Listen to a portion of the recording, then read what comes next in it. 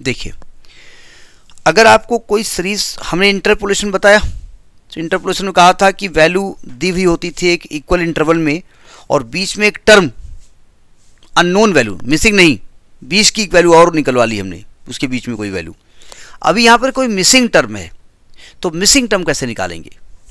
तो देखिए, हमसे लाग 100 की वैल्यू दी है 101 की दी है 102 की नहीं दी है मिसिंग हो गया ना 103 दी है 104 दी हुई है। पहले लिख लेते हैं, फिर बात करते हैं। ठीक है? यानी ये x दिया है और x के हिसाब से y बराबर ये एफ़ एक्स दिया हुआ है। x दिया है हंड्रेड और एफ़ एक्स लॉग है तो टू पॉइंट चाहो तो ज़ीरो ज़ीरो ज़ीरो ज़ीरो कर दो, क्योंकि चार डिजिट तक आगे यूज़ करना है। फिर वन हंड्रेड वन की वैल्यू दी है two point zero zero four three one hundred two की वैल्यू नहीं दी है, इसको हमने वाई टू मान ले, मान लिया है।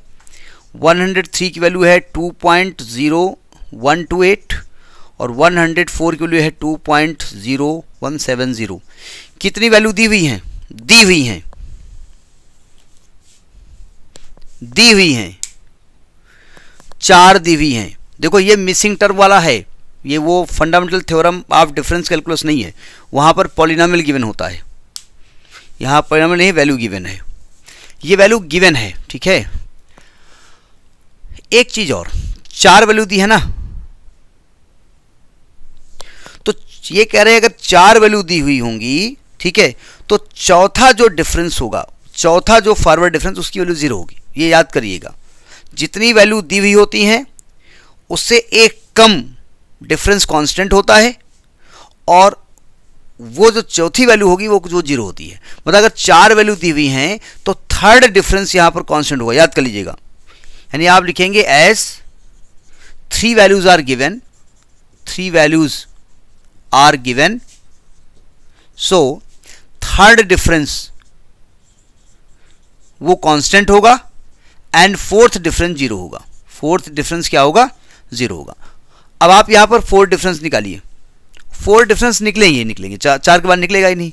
और उसको ज़ीरो कर दीजिए। ये स्टेटमेंट मैंने लिख दिया, इसको मैं रफ कर देता हूँ, क्योंकि जगह नहीं हमारे पास है। अब मैं डिफरेंस निकालने जा रहा हूँ, सावधान। अब मैं निकालने जा रहा हूँ डेल्टा एफ़ एक्स इसमें से उसको माइनस करेंगे, हम डायरेक्ट लिखेंगे, क्यों, हम कहे माइनस करें? तो इसमें माइनस करेंगे तो आएगा zero point zero zero four three आएगा। इसमें से उसको करेंगे तो आएगा, बीच में लिखेंगे यहाँ पर, इसके इसके बीच में, ठीक है? चाहो तो ऐसे एरो बना दो। इसके इसके बीच में लिखेंगे, ये एक लाइन में होना चाहिए ध्यान रखिए एरो ऐसा बनाइएगा। ये कितना आएगा? Y two minus two point zero zero four three इसके इसके बीच में लिखेंगे तो आएगा two point zero one two eight minus Y two इसको इसको लिखेंगे तो ये वैल्यू आएगी आपकी zero point zero zero four two ठीक है? लिख लिया? अब डेल्टा स्क्वायर एफ़ एक्स करिए।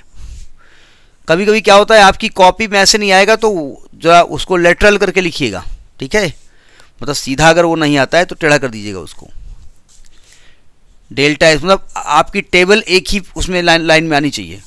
अगर सीधी कॉपी में ना आए तो उसको टेढ़ा करके लगाइएगा। डेल्टा स्क्वायर करेंगे तो इसमें से इसको माइनस करेंगे। हम डायरेक्ट लिख दें, कोई दिक्कत। अब आप माइनस करिएगा। इसमें इसको माइनस करेंगे तो आएगा टू पॉइंट, सॉरी, क्या लिख रहा हूँ? Y two minus two point zero zero eight six ये इसके इसके बीच में वैल्यू आई है। इसके इसके में लिखेंगे तो आएगा four point zero one seven one minus two I two अच्छा इसको कैलकुलेट कर लीजिएगा, क्योंकि ये प्रिंटिंग इंडिया की बुक है, जिसके पहले पेज पे लिखा होता है कि we have taken all the precaution in publishing the copy but book but if still any mistake is there then I am not responsible पहले लिख देते हैं। यूएस में नहीं कह सकते आप। वो कहते तो ऐसी तैसी।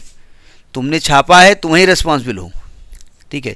इसमें से इसको माइनस करेंगे तो आएगा Y two minus two point zero zero eight six आप थर्ड डिफरेंस निकालिए, यानी डेल्टा थ्री एफ़ एक्स निकालेंगे।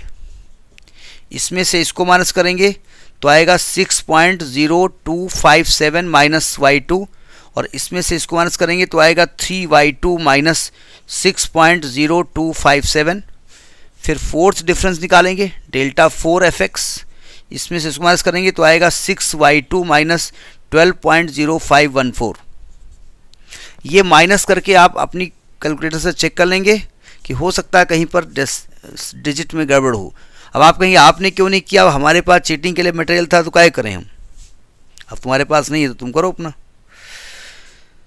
देखो ध्यान से। अब आप कहेंगे कि as delta four F X का मान क्या होगा यहाँ पर? ज़ीरो तो आप six Y two minus twelve point zero five one four को ज़ीरो कर दो तो यहाँ वाई टू का मान निकल आएगा।